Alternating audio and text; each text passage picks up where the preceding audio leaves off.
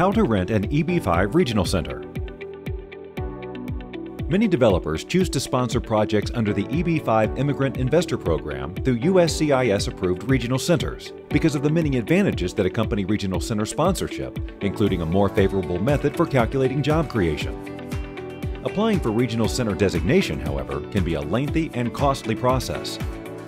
For this reason, many developers choose to rent or affiliate with an existing regional center as a cost-effective way for obtaining EB5 capital for their projects.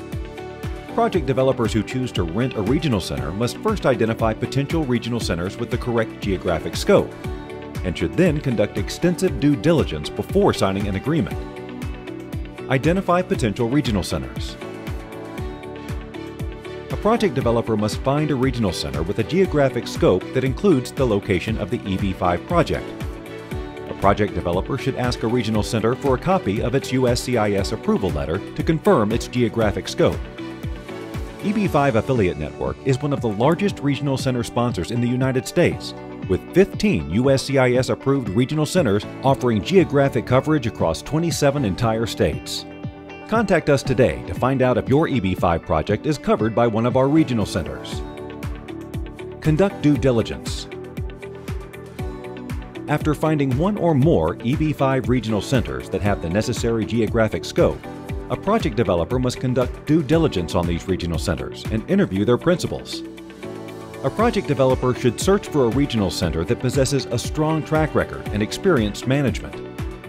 During the diligence process, a project developer should ask the regional center several key questions, which include the following. How many projects has the regional center engaged? What is the regional center's rate of approval for I-526 petitions? Has the Regional Center ever received a Notice of Intent to Deny from USCIS?